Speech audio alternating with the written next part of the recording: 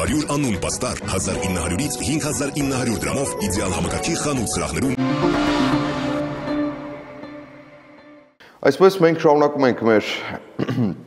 հարցազրույցների շարքը Ամերիկայի Մեծալ նահանգներում, Կալիֆոռնիայում, այս պահին գտնում ենք Գլենդելում, Իրանահայ համայնքում եւ հանդիպել եմ Կալիֆոռնիայի նահանգի բարձրագույն դատանի դատավոր Կասի Աբգարյանին, անչափ շնորհակալ եմ, որ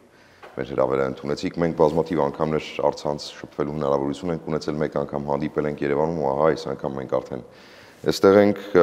եւ ցավալիորեն այս ընթացքում միջակայքում խնդիրները ոչ թե լուծվել են, այլ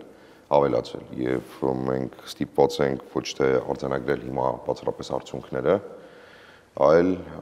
ստիպված ենք ֆիքսել, որ առաջացել են նոր խնդիրներ եւ իրավական հարթության վրա կցանկանա այդ խնդիրները հերթականությամբ ձեզ հետ քննարկել նախ դառնանք այն քրթական ծրագրերին, որոնք դուք ձեր նախաձեռնության շնորհիվ դեռևս Երևանում կարողացաք իմի բերել հավաքագրելով հայ երիտասարդների եւ Սլավոնական համալսարանում եւ Արցախի պետական համալսարանում եւ Երևանի պետական համալսարանում օգնելու 44-օրյա պատերազմից հետո փաստահավաք գործունեություն գործունեություն իրականացնել, աշխատել գերեվարված եւ հետ վերադարձած մեր երիտասարդների հետ, փորձելով նրանցից եւս հավաքագրել այն տեղեկատվությունը, որը կարող է մեզ իրավական գործիք տալ գործելու Ադրբեջանի դեմ, բանեցնելու դրանք Ադրբեջանի դեմ եւ միջազգային իրավական հարթակներում հասնելու հաջողության։ 2020-ի 44-օրյայից անցել է գրեթե 3 տարի եւ անչափ հետաքրքիր է թե ինչ արդյունքներ են գրանցվել, արդյոք այն կրթական թիմը, որ արդեն մասնագետներ են, եթե ես չեմ սխալվում, ինչ աշխատանք են կատարել, ինչպես ենք մենք կատարած աշխատանքը փաստահավաք աշխատանքը օգտագործում հոգուտ մեր շահերի պաշտպանության։ Նախ շնորհակալություն այս հրավերին։ Ուրեմն ճիշտ է 3 տարի չեղավ, կարծեմ 2.5 տարի։ Հա, համարյա 3։ Ասեմ ինչ համար դարբերություն գնե։ Ուրեմն առաջին դարվա ընթացքին մեր ամբողջ նպատակը այն էր, որ սորվեցնել եւ խումբ հավաքել, որ սորվին ինչպես պետք է այդ փաստահավաքը աշխատանքը տանին միջազգային ստանդարտների, որովհետեւ դրանք կարողանանք կարողանանք ամենքս օգտագործել թադարաններում երկրորդ տարին այդ առաջին խումբեն մենք կարողացանք արդեն էքսպերտներ հասցնել եւ պրոֆեսիոնալ աշխատանքի իրենց ցնել միևնույն ժամանակ զուգահեռ նախապատրաստել ուրիշ աշակերտներ։ Մենք 120-ից ավել աշակերտներ ենք պատրաստած այս 2.5 տարվա ընթացքում։ Այնտեղ կա աշակերտներ ֆրանսական համալսարանից, ամերիկյան համալսարանից, ինչպես ասիկ, Արցախի պետական, եւ այլն եւ այլն։ Հիմա 450-ից ավել վկայություն ունենք։ Գա վկայություն 20 րոպե, գա վկայություն 13 ժամ, հա։ Նյութերը շատ ծանր նյութեր կան մեջը։ Օրինակի համար ան դրակը, որ քերի էին Ադրբեջանում վերադարձան, ծնողներ, որոնց երեխեքը ոչ թե միան սպանվեցին, սպանվելուց հետո իրենց մարմինները վերադարձվեցան նման քայքայված եւ այդ ընթացքում ամբողջ փաստը հավաքը ըրած ենք փորձույց տալու որ այդ զինվորը կամ այդ հայը որ մահացած է պատերազմի ժամանակ այդպես չէր մարմինը բայց վերջը դե ինչեր են արած ադրբեջանցիները նույնիսկ մահացած զինվորին որոնք ամբողջ հանցակործություններ են, հա, պատերազմի հետ կապված։ Ալ չխոսիմ նրա մասին, որ մենք Բերձոր եւ Աղավնո գիտեինք, որ պիտի հայությունը այդտեղից հանեն, անդերեն դուրս չեկած մեկ ամիս առաջ խումբ ղրգեցինք, փաստահավաք արեցինք եւ շատ ծանր է իրենց վկայությունը, քանի որ պատկերացնում եք, որ իրենց նյութա ինֆորմացիա գնում որ պետք է իրենք իրենց դուները լքեն եւ դուրս գան եւ չեն ուզում դուրս գան, հա? Եվ վերջը դա իսկ իրականացավ անշուշտ, եւ վերջը մենք գնացինք նույն անձերեն փաստահավաք արեցինք ցույց տալու որ հիմա ուր հասած են եւ ինչ վիճակի մեջ են եւ սարսափելի դաժան պատմություններ են ամեն մեկ պատմությունը կարելի է քյուրքեր գրել իրենց վրա ուրեմն շատ լուրջ փաստահավաք կորց արեցինք Մենք նաև ասեմ ցեզի, որ երկու անցյալ տարի շատ մեծ միջազգային համաժողով կազմակերպեցինք։ Այս տարի մայիսի 3-ի 4-ին 5-ին մեր երկրորդ համաժողովն է եւ միջազգային քրեական հանցագործության թատարանի ICC-ի անցյալ տարվա նախագահը բիդիկա Հայաստան։ առաջին անգամն է, որ ICC-ի հետ կապված այդպիսի մեգա այդ դիդրոսով Հայաստան միտիկա եւ մեր ամբողջ համաժողովը ICC-ի հետ է կապված եւ նաեւ ինչպես կսեն universal jurisdiction, այսինքն ուրիշ երկիրներ, որ գրնանք մենք թադեր բերել, օրինակ Արգենտինա, Գերմանիա եւ այլն, եւ այս էքսպերտները ամբողջ ը, պիտի կան եւ պիտի հավաքվին, աս ամբողջի նպատակը ինչ է։ Փաստահավաքը ունի 3 տարբեր նպատակ։ Մեկը չթողել, որ մեր պատմությունը վերա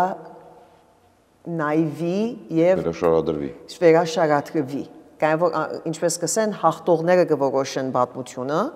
բայց եթե փաստահավաք արածես վկայություններ ունիս, ոչ թե մեկ հատ երկու հատ, այլ հարյուրավոր, որ նույն պատմությունն է պատմում, որովհետեւ չի վերաշարադրեն մեր իրականությունը։ Դա ոչ թե միայն այսօրվա համար կարևոր է, դա 50 տարի, 100 տարի, 300, 1000 տարի հետո, հա? Դա շատ մեծ կարևոր նյութ է, նախ մեկ։ Երկու փաստահավաքի անմիջական նպատակը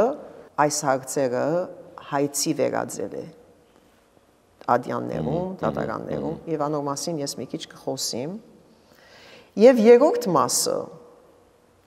Ինչպես գիտեք, մեր գազագերբությունը 30-40 փաստաբաններ ենք Ամերիկայում, Կանադայում եւ Եվրոպայում։ Եվ մենք ենք ը, սովորացնում երիտասարդությունը, երիտասարդ փաստաբանները Հայաստանում, թե այս աշխատանքը ինչպես պիտի գնա։ Բայց ամենակարևոր հարցը այն է, որ 10, 20, 30, 40 տարի հետո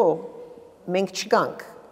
բայց Հայաստանի երիտասարդությունը աբական է, իրենք պիտի սորվին եւ իրենք պիտի իմանան ինչպես պիտի աշխատին, որովհետեւ ոչ թե միան հույսս անե որ այսպիսի ա, հանցագործությունների հետ չլինի գործը, բայց միջազգային ստանդարտներին մենք արդեն վարժվինք, մասնակցինք, որովհետեւ այս երիտասարդ փաստաբանները ոչ թե միայն փաստաբանները, երգիրը դառնա մի մասնիկ այդ միջազգային համակարգին դա երրորդ նպատակն է, որ դա երկարադեպ նպատակ է։ Ամ Ուրեմն հիմա ուր հասած ենք, այդ է ցեր հարցը։ Այո, նախ հասկանալի է, որ այս գործառույթը այն ինստիտուցիոնալ մակարդակի բարձրացնելու խնդիր կա, որովհետև մենք նման փորձ ունեցող փաստաբաններ, ինչպես դուք, օրինակ Ամերիկայի Միացյալ Նահանգներում բնակվող աշխատող փորձ ունեցող Հայաստանում չունենք, եւ սա իրականում Հայաստան սփյուռք երևի ամենաադեկվատ ու ռացիոնալ, ամենաօրինակելի համագործակցություններից մեկն է, երբ դուք ձեր փորձը տալիս եք հայկական փաստաբաններին ու ասում եք ներդրեք եւ օգտագործեք, համրացրեք, դարձրեք ինստիտուտ։ Այո, հարցի ամենակարևոր հատվածը այն էր, այս երկուսուկես տարիների ընթացքում արդեն վիճակագրորեն կարելի է ասել որևէ արդյունք գրանցված է թե ոչ եւ ինչն ամենաառանցքայինն է ինչ արդյունք էլ գրանցված լինի արդյոք քաղաքական առումով կապիտալիզացվում է Հայաստանում Նայեցեք, ուրեմն մեր գազագերբության անունը Center for Truth and Justice ճշմարտության եւ արդարադատության կենտրոն է։ Ճշմարտությունը գիտեք, մեր գոմն է, մեր ասելով հայ, հայերուն գոմեն է։ Փաստահավաքը դա ցույց է տալիս, հա։ Ճշմարտությունը միան լսվում է թադարաններում։ Ճշմարտությունը ուրիշ տեղ ոչ կլսվի, ոչ էլ դեղ ունի։ Քաղաքականությունը հիմնված է սուդերի վրա, ոչ իրականության վրա, ոչ ճշմարտության վրա։ Անորմալ ճշմարտությունը, որ մարդիկ ասում են, ճշմարտության հետևից եթե մենք ընկած ենք, մենք միան թադարանների միջոցով պիտի դրա հետևից գնանք։ Քաղաքականությունը ուրիշ բան է։ Բացարձակ կապ չունի ճշմարտության հետ, իրականության հետ, փաստահավաքի հետ, փաստերի հետ։ Ընթագարակը։ Նույնիսկ եթե փաստ կա, այդ փաստը քաղաքականությունը վերցնում է, նենցաշարադրում իրանց ի օգուտ Նույնիսկ եթե դրա տակը ոչ մի իրականություն չկա։ Անոմալ եկեք անշատենք քաղաքականությունը եւ ճշմարտությունը։ Ճշմարտության բաղակայում թատական թատական թատա իրավական ադյաններում մենք հաղթած ենք։ Հայաստանը արդեն հաղթած է եւ ելի կհաղթե։ Եւ մենք ելի դեր կհասնենք։ Օրինակ ICJ-ի բաղակայում այդ միջազգային թատականի օրեն ը, որոշումները դրանք հսկայական պրեսեդենտ են։ Այդպիսի բան չի եղել։ Հիմա ուրիշ բան էլ ասեմ, ICJ թատարանը ինքը ընդհանրապես 30 տարվա թատարան է, այսինքն երիտասարդ թատարան է, նենց չի որ հազարավոր հա- հայցեր եղած են այնտեղ կան, որ այնտեղ միան երկիրներ կգնան իրարութադի տալ, հա? Բայց այն որոշումները, որ մենք արդեն ստացած ենք, հա, դրանք հաղթանակ են մեզի համար։ Հիմա վերջին որոշումը բլոկադայի հետ կապված չէ Արցախի։ Ուրեմն ինչ համար բլոկադան չփածվեցավ։ Քանի որ բլոկադայի փածումը ճշմարտության եւ թադարանի հետ կապ չունի, դա լման քաղաքական որոշում է որի մեջ կա Ռուսաստանը, որի մեջ կա Թուրքիան, Իսրայելը, դա նման դարբեր պատմություն է։ Բայց դա իրավական ձևով մենք հաղթած ենք եւ ելի պիտի հաղթենք, ես ցես հավաստիացնում եմ։ Դա որ նախ փաստերը գիտենք ինչ են։ Հիմա որ միջազգային քրեական հանցագործության դատարանի անդամ պիտի դառնա Հայաստանը, հա։ Հուսանք։ Հուսանք, բայց կարծես թե քայլերը գնում են դեպի դրան։ Կարծես թե։ Դրա մասին եմ ես մի քիչ կուզեմ խոսել, հա։ Դե դրան դեռ կհասնենք։ Դե դրան կհասնենք, բայց ասածս այն է, որ նախ ուրիշ բան կա, չեմ ուզեր նաև խոսել այն հայցերի մասին, որոշ երկրներում, որոնք կան, կարող դրանք պետքա մի քիչ փակ մնան, ինչեւ որ դեղ հասնին։ Եվ այս հայցերը բանի նման չի, ասենք թե մարդուգին, որ իրար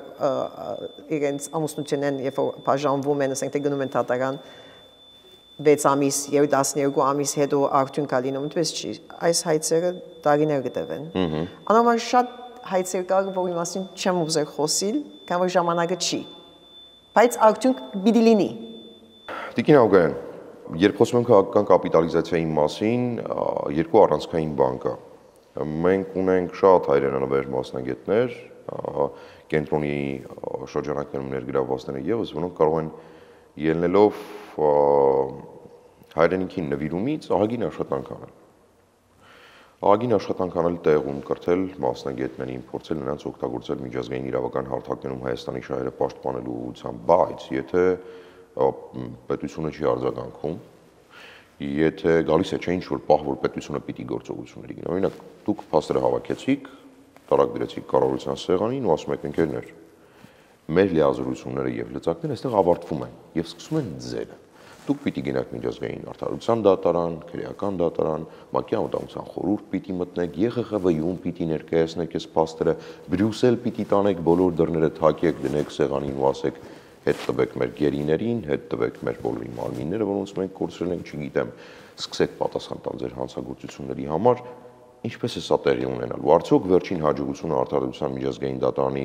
Լաչինի Միչանսկի մասով միջանկյալ որոշման ապացուցեց կառավարությանը եւ իշխանությանը, որ սա գործող մեխանիզմ է եւ սա պետք է օգտագործել։ Թե ամեն դեպքում այստեղ եւս աշխատանք կանել ոչ թե մասնագետների հետ լոկալ աշխատանքի, այլև որոշումներ կայացնողների հետ։ Այդպիսի աշխատանքի կարիք տեսնում եք։ Այնց նախ սկսեմ նրանից, որ դուք ասեցիք, մեր աշխատանքը, երբ որ մենք այդ վկայությունները, այդ փաստահավաքը արեցինք եւ մենք դվինք ասենք թե բեդության եւ ասեցինք, բա մեր գործը վերջացավ, ասկե վերջ դուք պետք է են անեք, դա դենց չի։ Նախ փաստահավաքները մենք չենք տված պետություն։ Ես օրինակ պայմանական օրինակ եմ հասկացա, բայց այն հարցը, որ պետք է գնալ Ժնև, Բրյուսել, պետք է երթալ դարբեր հարթակներ, քաղաքական աշխատանք տանել, դա նաև ընկնում է մեր նման գազագերբությունների աշխատանքի մեջ եւ ես սա ասում եմ ոչ թե միան մեր գենտրոնի հետ կապված այլև ամբողջ դարբեր Հայաստանում 30-ից ավել այսպիսի գազագերբություններ կա, որոնցից մի քանի հատը ակտիվ աշխատում են, կային որ ես ցեզի բան ասեմ։ Գազագերբություններ մեր նման։ Ես ասեմ, որ մենք հայկական գազագերբություն չենք։ Մենք ամերիկյան գազագերբություն ենք մարդու իրավունքների հետ կապված։ Եվ մենք ոչ թե միան աշխատում ենք Հայաստանում, նաև աշխատում ենք ուրիշ գենոսիդի հետ կապված երկրներում։ Այդ էլ ասեմ, կան որ դա մեզ դալիս է ստատուս, հա? մենք կգնանք ասել այնինչ որ բեդությունը չի գնար ասել։ Okay։ Կարող որ բեդության վրա գա տարբեր ճնշումներ, չէ՞։ Այն երկրներից, որոնց որոնք մեր վրա ազդեցություն չունին եւ չեն գնար ունենալ։ Ուրեմն օրինակ տամ, հա, ասենք թե եթե մեր վկայությունները օրինակ եմ տալիս ուղղակի, օրինակ մեր վկայությունը եթե մենք տանում ենք կոնգրես, Հիմա ճիշտ է, որ ես չեմ գնալ մեր վգան Հայաստան են բերել անպայման կամ Արցախ են բերել, բայց վկայությունը եթե մենք ունենք, մենք դա հանցնում ենք ու բացադրությունով, թե դա ինչի է դանում, հա? Եվ այդ աշխատանքները գնում են, ես ես ասեմ։ Ոչ թե միան կոնգրեսում են գնում, Կանադայում են գնում, Կանադայի պարլամենտում մեր էքսպերտներից մեկը ինքը վկայություն տվավ Կանադայի պարլամենտում Եվրախորհուրդում այս աշխատանքը գնում է։ Քանի որ ոչ թե միայն ես ասում եմ մեր կենտրոնի հետ կապված, ընդհանրապես ոչ պետական գազམ་ագերբությունները շատ ավելի բան կարող են ասեն եւ ուզեն, քան թե օֆիցիալ կառավարությունը։ Եվ այդպեսով պիտի թողեմ։ Վերջ չեմ շարունակի թեման հաշվի առնելով որոշակի գաղտնիությունը աշխատանքի։ Տիկին Աղգայան, հիմա գանք շարունակականության են բոլոր քեյսերի, որոնք խոշոր հաշվով Ադրբեջանը մեծ տևական ժամանակ նվիրել է։ Օրինակ 2020 թվականի պատերազմից հետո Իլհամ Ալիևը երևի գտնվելով իր փառասիրության գագաթնակետին, իրեն արդեն զգում էր իբրև Ալեքսանդր Մակեդոնացի, որ գրավել է ամբողջ աշխարհը եւ անում էր հայտարարություններ, որոնք հայկական կողմը եթե հերթականությամբ դասավորեր կուտակեր եւ դրանք զուտ որպես ապացույց ներկայացնել, ինչն էլ արվեց իրականում արտադրության միջազգային դատանում, մենք կարողանայինք ավելի շատ միջանկյալ որոշումներ ունենալ։ Հիմա ամեն դեպքում Ալիևը շարունակում է անգամ արտադրության միջազգային դատանի միջանկյալ որոշումից հետո, որի հիմքը իր հայտարարություններն էին խոշոր հաշվով որ եթե հայեր ուզում են գնալ Արցախից հանգիստ կարող են գնալ, բայց ներս մտնել ոչ մեկ իրենց թույլ չի տալու, որ այն տարածքները, որ մենք գրավել ենք, չենք թողնելու, որտեղ դրանք բարենպաստ են մեզ համար։ Ու այս խոսույթը Ադրբեջանում Բաքվի բռնապետի մոտ անդադար շարունակվում է ուտոպարություն է ստեղծվում, որ մենք իրավական առումով դրա դեմ պայքարելու, նրան զսպելու եւ հայտարարությունների մեջ եւ գործողությունների մեջ ունակ չենք։ Կամ միջազգային դատանի միջանկյալ որոշումից հետո։ Սա այդպես է թե այդպես չէ ասի ամենը դժվար մասն է, որ հարցուցիկ։ Ալիևը օրագան իր ասածներով, իր խոսքերով միայն ուղագի խախտում է ICJ-ի որոշումը դեկտեմբեր 27-ին 2021 թվականի հետ կապված, կանել այնտեղ շատ հստակորեն ICJ-ը այդ հարցը թրած է եւ ուղղությունը կա եւ որոշումը կա։ Այ անորոք Ալիևը հանկիստորեն խախտում է Այստեղ երկու հանգամանքավոր գուզեմ ուշադրություն դարձնեք։ Բայց եւ այնպես Ադրբեջանը նաեւ հայց բերած է Հայաստանի ընդեմ միջազգային դատարանում։ Եվ արգումենտներից մեկը բիդի լինի, որ եթե դու չես ընդունում ICJ-ի որոշումը, դու ուրեմն ոնց ես մտնում ICJ եւ հարց ես տնում Հայաստանի թեմ։ Դա ամենակարևոր նյութերից մեկն է, որ պետք է անպայման եւ կլինի պիտի հարց տրվի ICJ-ի այս թադի ընթացքում, դա մեկ։ Իսկ որ ինչու համար Ալիևը ազատ անկախ ուզածը ասում է ընդհանրեն ամբողջ որոշ դեպքերում անում էլ է ցավալի որ Եվ իհարկե անում է։ Այս բարակայում խնդրեմը անը որ քաղաքական շահեր կան որ շատ ավելի մեծ են քան թե Արցախը եւ Հայաստանը հա սա շատ ավելի մեծ հարց է եւ ես քաղաքագետ չեմ ոչ էլ կուզեմ նրա մասին խոսել բայց այստեղ կա Պարսկաստանի հարցը Իսրայելի հարցը Թուրքիայի, Ռուսաստանի Թուրքիան Ռուսաստան միշտ կար բայց Իսրայելը եւ Պարսկաստանը հիմա արդեն աջած է այդ այդ ճշնամության վիճակը նայեցեք Ադրբեջանը օտագայան սարքեց 6 կիլոմետր Պարսկաստանի սահմանից դա տուրիստական օտագայան չէ բայց չի անոր համար մենք հայերս լինի Արցախը, լինի Հայաստանը, լինի սփյուռքահայությունը Իսրայելում, Գլենդելում տեսնում եք ինչ ադելության խոսքեր են դուրս գալիս, հարցագումներ կա հայության վրա Հրեաստանում։ Մենք զոհ ենք գնում այդ ավելի մեծ քաղաքականության, հա? Գրնանք կասեցնել, չեմ գիտեր վստահ չեմ պետք է շարունակենք այո բայկարինք 10 անգամ ավելի աշխատենք 100 անգամ ավելի հիմա եթե այս փաստավակ առաքելությունը մասնագետները որոնք Հայաստանում այլ ավելի են խորասում իրենց գիտելիքները միջազգային իրավունքի մասով մի ինչ որ փուլում մենք սկսենք անդադար դատի տալ Ադրբեջանին հետո դատի տալ Թուրքիային հետո դատի տալ բոլոր այն երկրներին տարբեր ոլորտներում տարբեր մակարդակներում ընդհանուր միջև Իսրայել Օրինակ, զենք վաճառելու համար ընդդեմ Հայաստանի, հայերի եւ այլն էական նշանակություն չունի, հնարավոր չէ գտնել մի ինչ որ պատճառ դատի տալու։ Սա որևէ կերպ կարող է զսպող հանգամանք լինել զուտ միջազգային իրավական պրակտիկային նախադեպերին նշանակություն տալով այդպիսի բան կա, որ օրինակ, չգիտեմ, միաժամանակ 10 հայց տանք Թուրքիայի դեմ, 10 հայց տանք Ադրբեջանի դեմ, եւ ինչպես նրանք են միշտ անում, մեզ կենտրոնացնում են ինչ որ բանի վրա, մենք էլ ամբողջ ռեսուրսը դնում ենք այնտեղ, իրանք էլ սկսեն ամբողջ ռեսուրսը դնել այնտեղ անդադար պատասխանել։ Հնարավոր է սա թե ոչ։ Ոչ թե հնարավոր է։ Անում ենք, անելու ենք,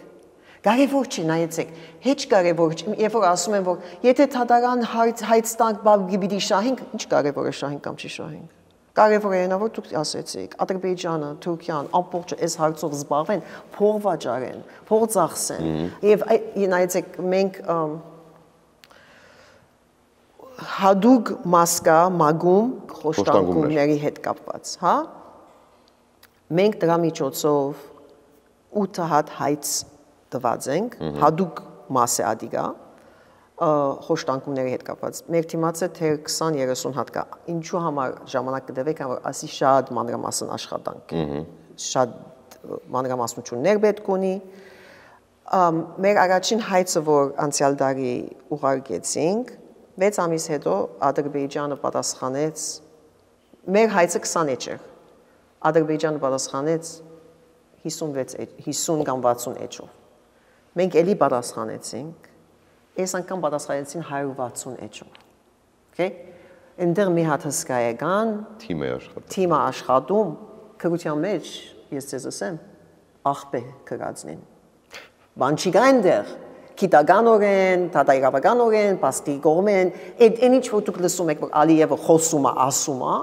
այդ թղթի վրա։ Աբրեք։ Այնտեղ բան չի կա, բայց մենք ուրախանում ենք։ Կավեր իրենք դրանով են զբաղված։ Հիմա դա, եթե մենք 100 անգամ բազմապատկենք եւ ոչ թե միայն իրանց հետ, նրա հետ, նրա հետ աս ամբողջ աշխատանքը հատու իրենք ժամանակ անցկացնեն, իրենց պաստապանները թող հավաքեն, փողերը թող ծախսեն, թող զբաղվեն, թող կան որ այս հարցերը նաև ոչ թե մենք փակ բահում ենք, մենք նաև վերջը ուղարկում ենք այն որտեղ որ պետքա գնա։ Հասկացաք, ոչ տատա իրավական ակտեն, տատա իրավականից դուրս որովհետեւ փաստերը տեսնեն, ակտունքները տեսնեն, իրենց ասածները տեսնեն, հա? Անոր համար ես բայց մի բան ցես պիտի ասեմ, այս ամբողջը անելու համար ամբողջ ազգը պետք է ասոր յետևը կանգնի։ Հա ոչ թե որ 10 հոգի, 20 հոգի, 30 հոգի, 40 հոգի։ Ամբողջ ազգը պետք է հետևողական օրեն այս աշխատանքին կողքը գանքի թե ֆինանսապես եւ պսիխոլոգապես։ Քանի որ եթե մենք չանենք, մենք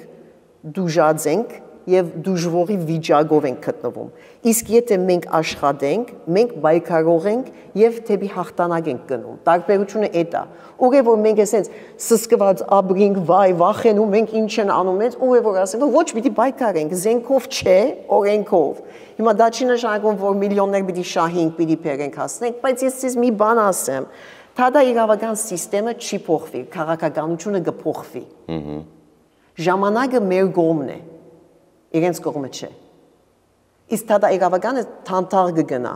Ժամանակի ընթացքում քաղաքականությունը կփոխվի եւ մենք շարունակապար որ կշահենք քաղաքականությունն ալ կփոխվի։ Անոր համար ասի մեկ օրվա կորց չէ։ Համաձայն եմ ամբողջությամբ, բայց ախր արտաքին քաղաքական գործոններ եւս կան, որոնք օրինակ Հայաստանի քաղաքականության տեսանկյունից կարող են դրա մշակման վրա անդրադարձ ունենալ։ Նախորդին վստահ եմ Ռոմի ստատուտի հետ կապված վերջին շրջանում քննարկումները շատ ակտիվ էին։ Հայկական կողմը հասկացավ, որ միջազգային քրեական դատարանը, որ ի դեպ այո, ահագին երիտասարդ դատարան է եւ դեռևս մեծ գործունեություն չի ծավալել, բայց դե ամեն դեպքում միջազգային դատարան է, որին միացել են վավերացրել են ամեն դեպքում 123 երկիր, եթե ես չեմ սխալվում, եթե սխալվում եմ, խնդրում եմ ուղղել 123 երկիր, սա արդեն մեծ ակումբ է, մեծ համայնք է, որի միջոցով հնարավոր է հասնել արդյունքի։ Բայց Ռոմի ստատուտը դարձավ մեծագույն խնդրեմ, խնդիր Հայաստանի քաղաքական իշխանության համար որովհետև առաջ եկավ Պուտինին օրդերի տալու եւ հարցեր սկսեցին քննարկել, որ այդ դեպքում եթե Պուտինը գա Հայաստան, մենք ինչ է Պուտինին ձերբակալելու ենք, հանձնելու ենք միջազգային իրավական դատարանին, բայց մի նուրբ բան կա, որ շատերս բաց թողեցինք առաջին հերթին հենց Ալիևին պետք չէ որ Հայաստանը միանա Ռոմի ստատուտին, վավերացնի այն եւ միանա միջազգային քրեական դատարանին։ Սա անհրաժեշտ չէ Թուրքիային, որը վարձկանները հովանավորել եւ բերել Ադրբեջան Արցախում հայերի դեմ կռվելու համար։ Եվ սա այո, վերջին հերթին, գուցե նաև առաջին հերթին, ինչպես կցանկանաք, պետք է նաև Ռուսաստանի Դաշնությանը, որը այս ամբողջ օպերացիան իրականացնելու համար Բաքվի եւ Անկարայի հետ է շփվել։ Բայց առաջնային հասցեատերը միջազգային քրեական դատարանին միանալու առաջին շահառուն այս դեպքում Ալիևը չէ եւ ինչպես կարող ենք անտեսել դաշնակիցների բողոքները, որոնք Պուտինի վրա են ամբողջ ուշադրությունը սևեռում, մինչդեռ ուշադրությունը սևեռված է Ալիևի, հետո Էրդողանի, հետո նոր վերջին հերթին Պուտինի վրա։ Ինչպես անել, ինչպես հասնել ստատուտի ավավերացմանը եւ չվնասել Հայաստանի արտաքին քաղաքականությունը։ Նայեցեք, մենք ունենք պատմություն, որ ոչ մեկը չունի, հա? Մենք չարք տեսած ազգ ենք։ Գենոսիդ բառը ստեղծված է հիմնված մեր փորձի վրա։ Ուրեմն մենք միշտ պիտի գայնենք մեր բադմության իրականության գողքին եւ այսօրվա եղածը դրա շարունակությունն է։ Մենք 100 տարվա ընթացքին ինչ ենք ասել, մենք ուզում ենք այս, մենք ուզում ենք այն, բայց միայն մենք փողոցներով մանենք եկած, դրոշակներ ենք բռնած, որը գներեք Դա մենք միան մեզ համար ենք անում, որ խիղճի խայտ չունենանք, գիշերը գնանք լավ քնենք։ Ոչ մի արդյունքի դա չի հասցնելու մեզ։ Իրականությունն եմ ասում, հա? Մենք միան դեր կհասնենք, եթե մենք պաշտպանենք մեր ճշմարտությունը, իմիջայլոց ամեն մարդու ճշմարտությունը։ Հա? Երկու օր առաջ շատ հետաքրքրական դոկումենտ դուրս եկավ Cornell համասարանից Monument Watch-ն է, որ իրենք satellite-ով նկարում են, օրինակ 44 օրվա պատերազմի ընթացքում մեր ամբողջ եկեղեցիները, բաները, որ չակտում էին ադրբեջանցիները, այդ նկարները եւ այլն։ Երկու օր առաջ իրենք նոր report զեկույց դուրս տվին, այն փլուզումները, որ հայերը արած են ադրբեջանական եւ թուրքական մզգիտների վրա։ Եվ ես շատ կողմ մնացի։ Կամ որ ճշմարտությունը չի ճանչնալ քույն ազգ եւ քաղաքականություն։ Ուրեմն մենք պիտի նաեւ ընդունենք մեր մեր հարցերը Հայաստանի բարակայում, երբ որ սկսան այս ICC-ի հարցով քննարկումներ տանել, ասեցին, բայց ախր կարող է, որ իրենք հետո կան մեզ փորձեն թադել, դե մենք էլ արել ենք։ Եթե արել ես, դու էլ պիտի հավասար թադվիս, եթե հանցակործություններ արած ես։ 1 երկու հազիվ մենք որոշեցինք, որ պիտի միանանք կամ չմիանանք Պուտինի հետ կապված, օրդերը եղավ Բայց Հայաստանը սովորեն բեդություն է։ Բարձրապես կան որ Հայաստանը եթե միանում է ICC-ին, դա չի նշանակում, որ եթե Պուտինը Հայաստան կա, պետք է Պուտինին մենք ցերպակալ ենք, կան որ սովորեն երկրի իրավունքները ավելի բարձր են, քան թե քո անդամակցությունը ICC-ի։ Եվ օրենքի մեջ այդ հատվածները կան։ Հայաստանում այլ կերպ են մեկնաբան։ Կարող է մեկնաբանեն, բայց ցեվը գա Քանի որ եթե ICC-ի պատմությունը հետևիկ եւ որ որ նախագահները օրինակ թադված են, հա, նախ մեկ հատ կա, որ թադված է։ Աֆրիկայում է դա։ Եվ եւ հարցը այնա, որ ոչ մի անգամ նրան չի ցերպակալեցին հագարակ որ ինքը գնաց այն երկիրները, որտեղ որ անդամ էին։ Ահա դու ստիպված չես, եթե դու չի ցերպակալեցիր, քեզի մարդ դուքանք պիտի չդա, ICC-ին քեզի պիտի չի բահե, փող չեն բահելու, կապ չունի, ICC-ին կորձիկ է։ Եթե մենք մասնակցենք, այդ կորձիկը կգնանք կորձածել մեզի իշա։ Եվ երբ որ մեզ իշա չի, բետական շահերը դա հաղթահարում են։ Ցևը գա։ Վախել կա, Տիկին Աբգանյան։ Ամեն ինչի մեջ վախ կա։ Այո, վախ կա, որովհետև ամեն դեպքում ինչպես դուք ասացիք, իրականում իրավունքն ու քաղաքականությունը փոխկապակցված են առավել եւս մեր օրյա աշխարհում, երբ շատեր ասում են, որ մի աշխարհակարգը փլուզվում է, հաջորդը դեռ չի ձևավորվել եւ այս միջակայքում իրավունքը այնպես չի որ այնպեսի հզոր գործիք կարող լինի, ինչպես օրինակ ռուս-ուկրաինական պատերազմից հետո։ Հիմա սրանից ելնելով կարող ենք ամեն դեպքում վստահ լինել, որ այն кейսերը, որոնք կուտակվում են ժամանակի ընթացքում, ինչպես Ադրբեջանն է ժամանակին անում։ Մակում բանաձև էր, ԵԱՀԿ-ում բանաձև էր, տարբեր հարթակներում տարբեր փաստաթղթեր,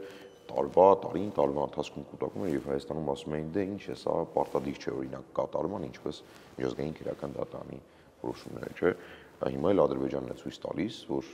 արտադրության միջազգային դատարանի ձեր միջանկյալ որոշում պարտադիր չէ կատարման համար, ես կարող եմ չանել։ Իսկ եթե դրանք կուտակվեն եւ գա ինչ-որ հատված, երբ որ кейսը ահագին հաստացել է, հաստափոր է դարձել, սա արդեն ծանր գործիք է դառնալու տալու Բաքվի գլխին։ Նայած ինչպես կկործածես այդ գործիքը։ Նախ պիտի կործածես Գործիքը պետք է կործածվի, մինչև այդ պետք չունի սպասելու մինչև որ ինքը գուտակվի, ընթացքում պիտի աշխատի այդ աշխատանքը նայեցեք, հետեւյալ բանը ասեմ, ինձ ես ես քաղաքականության հետ կապ չունեմ, ոչ էլ ներկա պետության հետ, անցյալի պետության հետ, ադո հետ կապ չունեմ։ Չէ, խնդրում եմ, էլի պետության հետ կապ ունեցեք, իշխանության հետ կապ։ Իշխանություն, գներեք, իշխանության հետ եմ ուզում։ Իշխանության, իշխանության հետ կապ չունիմ եւ իշխանության մասին ես ոչ մի բան չեմ գնալ ասել, ասեմ ինչու համար։ Եթե ես Հայաստանի քաղաքացի լինեի, ես իշխանության հետ կապված կարող եմ մի բան ասեի, քանի որ ուրեմն դա դուրս է գալիս իմ ընդգությունից հետ կապված է։ Բայց ես սփյուռքահայության մեջ ապրած մարդ եմ, այստեղ եմ, ինչ իրավունք ունիմ այդ հարցի մասին գամ քննադատելու կամ քննարկելու, քանի որ ես ոչ ես անոր մեջ լումա լումա չունիմ, այսպես ասած, ոչ էլ զադողություն ունիմ։ Անորոշ ես պիտի ընդունիմ իշխանությունը, ինչ քանի որ դա հայրենիքս է։ Ուրեմն ով որ լինի, ես պիտի ընդունիմ եւ բայց այս իշխանությունը, ասեմ ցեզի, 40 մինչև 44 օրվա պատերազմը Հայաստանը ոչ թադա իրավական, ոչ ոչ թադա իրավական, ոչ միջազգային արտակնում ոչ մի տեղում չկար։ Չեր մասնակցում։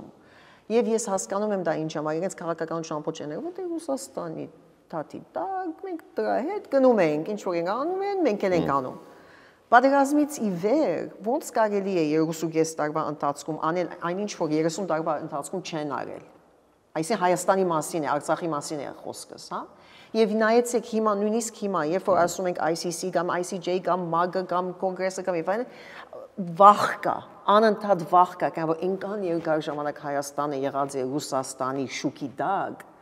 միշտ վախ կա, որ այդ շուկից դուրս որ կանք ինչ կարող է լինի, բայց ես ես ասենց ասեմ, այդ շուկի տակ որ ապրած ենք ու հասանք։ Չենք աճել։ Արև չենք տեսել։ Ոչ արև չենք տեսած։ Մենք բխրջված ենք հետնի տակ ու դուք չենք գալիս։ Անոր համար ես հասկանում եմ այդ վախը եւ ես չեմ ապրում Հայաստանի, իմ երեխեքս պատերազմում պատերազմի մաս չկազմեցին, ոչ էլ կկազմեն։ Ես հասկանում եմ, որ իրավունք չունեմ այդքան բան ասելու։ Բայց եւ այնպես ես տեսնում եմ ինչա եղած մեր երիտասարդներուն այս վիճակ, այդ շուկի տակ, հա։ Եկեք մեր մեր թաթ, ասենց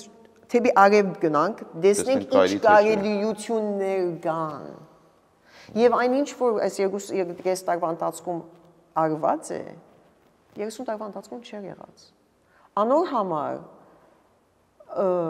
այդ ռիսկը պիտի առնենք։ Ես ուրիշ բան էլ ասեմ ձեզ։ Հիմա մենք շատ բան ենք կորցրել։ Բայց ամենը վատ բաները արդեն մեր գլխում բերեցին։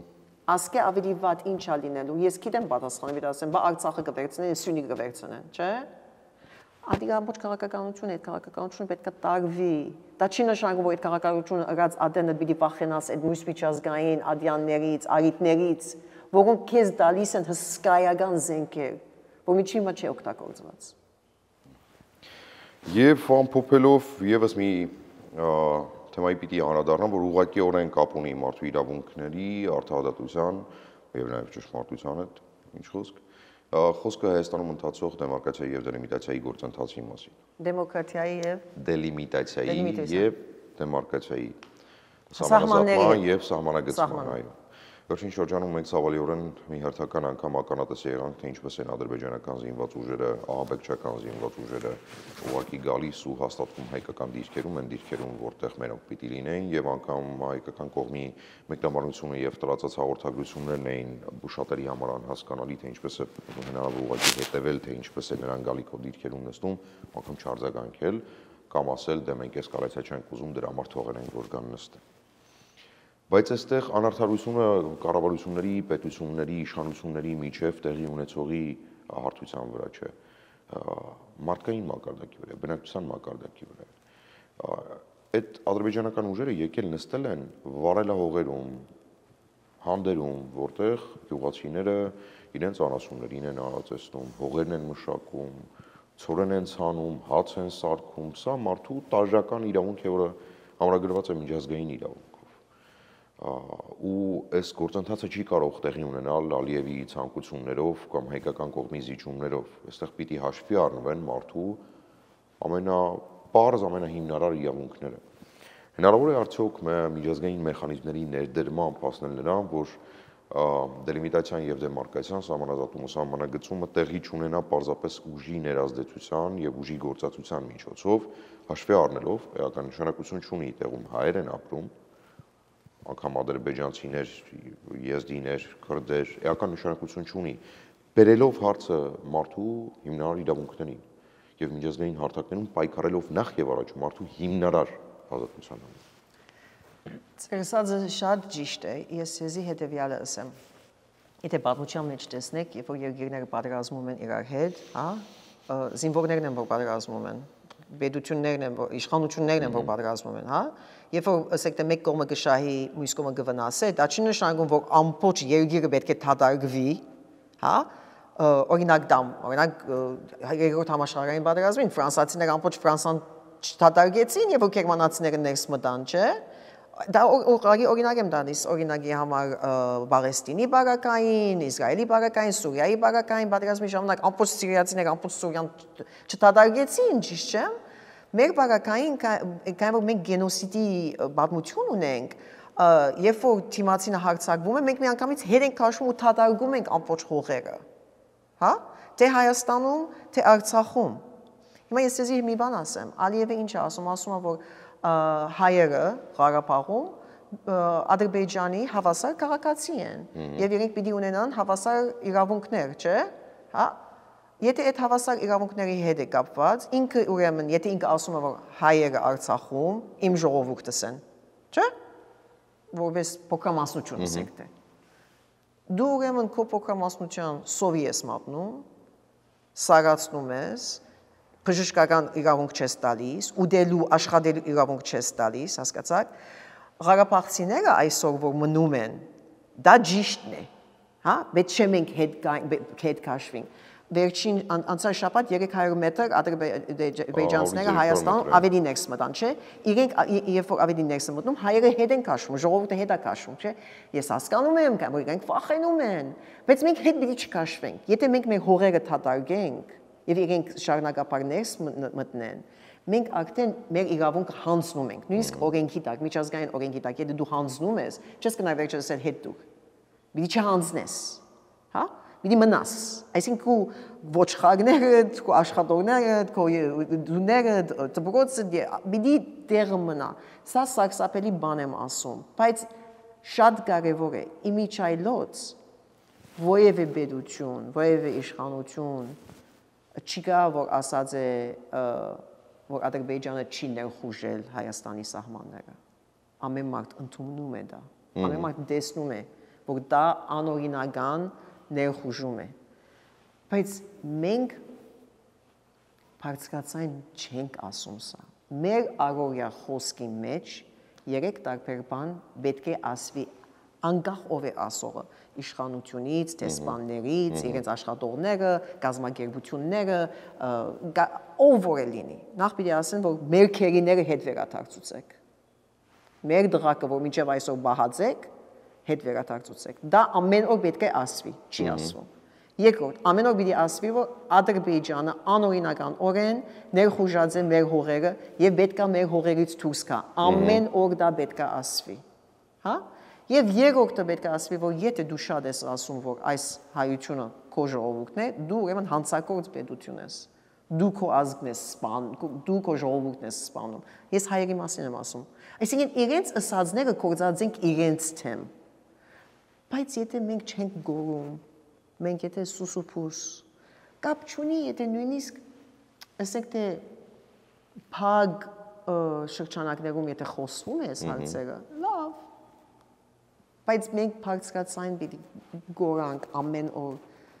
Քերիները պետք է հետ դան։ Մեր հողերից դուրս պետք է կան եւ իրենք հանցակորձ իշխանություն են։ Ալիևի մասին եմ ասում եւ իրա մարտիկը։ Հաջիևից սկսած եւ մնացածը։ Մենք ինչ ունենք գործընծնելու, ինչից ենք վախենում։ Դե արդեն էթնիկ զտման առաջ ենք կանգնած։ Էթնիկ զտման առաջ չենք կանգնած, էթնիկ զտումը գնում է։ գնում է, բայց իրենք իրեք այնքան գամած, գամած են անում, մենք կարծում ենք հելը մի կարողա լինի գնում է այսօր էթնիկ զդման մեջ ենք իրենք այսօր մեր հողերը վերցնում են ոչ թե մենք պիտի վախենանք թե ինչ կարող են անեն անում են այսօր սանտիմ առ սանտիմ իրենք վերցնում են դաժան ճշմարտության հետ ենք բախվում բայց ես հուսամ որ նմանօրինակ կոչերի հարցազրույցների միջոցով մենք հանգելու ենք գիտակցմանը, որ անգործությունը ավելի վտանգավոր է, քան գործողությունը, որովհետև հիմա Հայաստանում մտայնություն կա ոչինչ չանել, որ հանկարծ ավելի վատ չլինի։ Բայց ոչինչ չանելով դու ըստեյության գալիս ես ինքդ քեզ այդ համաձայնության, որ դու համակերպված ես քո երկրի ճակատագրի հետ։ Գիտեք, ադիգա նաև ծև մնե հուս, գիտեք, անընդհատ ինձ գսեն Աստված դա տեսնենք վաղը ինչ կլա։ Գսեմ, «Է գիտեք վաղը ինչ պիտի լա»։ Օրինակ, երբ որ բլոկադան սկսավ, կա որ մենք Արցախում գրասենյակ ունենք եւ ակտիվ, շատ ակտիվ աշխատում են իրենք այնտեղ։ Մեր համաժողովի մասին ենք խոսում, կա որ իրենք մասնակցում են, իրենք պետքական մասնակցեն, բայց չեն գնարկալ հիմա ստիպած են Zoom-ով պիտի մասնակցեն իրենց ասնյութերով որ խոսում էի ամիսներ առաջ դեկտեմբերից սկսած հունվար, փետրվար ասում էի որ պիտի չկարողանա գալ, ասում էի լեք սպասեք հենց մինչև մայիս դեռ շատ ժամանակ կա, տեսնենք ինչ կլինի։ Ասում եմ ցեզի մի բան ասեմ։ Հայաստանը 30 տարի բլոկադայի դակ է եղել Ադրբեջանի եւ Թուրքիո կողմեն։ Այդ բլոկադան հանգվեց, բացվեցավ։ Ոչ։ Բայց դեսեք փաստը նույն Ադրբեջանն է, այդ Ադրբեջանը Հայաստանը այդ օրին թողեց 90 ավելի վատ ավելի վատ 92 94 տարեկան իմիջիալից ես Հայաստանի էի ապրում այդ մութ տարիները ես ապրած եմ շատ լավ գիտեմ հա? Նույն Ադրբեջանն է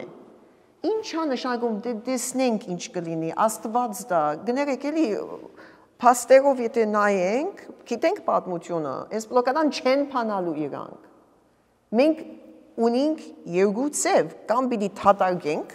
այսինքն այդ էթնիկ զդումը իրականացավ Մեր ձեռքով։ Մեր ձեռքով։ Եվ եթե չթադարգենք, մենք վախի մեջ ենք, որ մեր ժողովուրդը կսպանեն, չեն սպանի։ Կային որ միան մենք չենք այդ դերի խաղացողները։ Դուք շատ լավ գիտեք։ Հասկանում եք։ Ուրեմն մենք պիտի բայկարենք։ Ոչ թե զենքով, տնտանոտով, կային որ մենք այդ փորձեցինք, այդ մենք չենք կրնալ։ Կարող է 10 տարի հետո, բայց հիմա չգիտեմ Կասկածում եմ, որ երկուսուկես տարվա ընթացքում մենք կուտագեցինք այնինչ, որ մեզ պետքա, որ ՆԱՏՕ-ի թեմ գնանք տրվենք։ Կան որ Ադրբեջանը ՆԱՏՕ-ի կողմից է զինված։ Չէ՞։ Թուրքիայի դե կողմից է զինված։ Այո, ավտոմատ դե ստացվում է։ Դե նույնն է հաշիվը։ Անոր համար ավելի հեշտ է ասել, որ դա Աստված դա տեսնենք վաղը ինչ կլա, բայց մի հատ փաստերը նայեցեք։ Մենք էթնիկ զդման ընթացքի մեջ ենք այսօր։ Մենք մեր հողերը այսօր գործնում ենք։ Չկա սпасել։ Հուսամ որ դες ականջալուր կլինեն։ Տիկին Ագեն, անչափ շնորհակալ եմ որ ժամանակ գտակ եւ հնարավորություն տվեցիք այս կարևոր թեմաների շուրջ ձեզ հետ խոսել։ Ես հույս ունեմ, որ մենք parberabar շփվելու հնարավորություն կունենանք թեկուզ արցանց, այս այո, ծանր բաներ ասելու, բայց կարևոր բաներ ասելու համար եւ հանրությանը հասցնելու, որ այո, թեկուզ անգամ Աստծո վրա միայն հույս դնելը վերջում հանգեցնում է ավելի բարդ իրողությունների, քան մենք ունենք կրկին անչափ շնորհակալ եմ մեր հերոստատիտողներին հիշեցնեմ, որ մեր ամերիկյան IT շրջանակներում հարցազրույցների շարքում այս անգամ զրուցում էինք Կալիֆոռնիայի նահանգի բարձրագույն դատարանի դատավոր ճշմարտության եւ արդարության կենտրոնի համահիմնադիր Կասի Աբգարյանի հետ ես հուսամ, որ այս բոլոր ուղերձները, որոնք հնչեցին, կհասնեն ճիշտ հասցեատերերի։ Մնացեք խաղությամբ առայժմ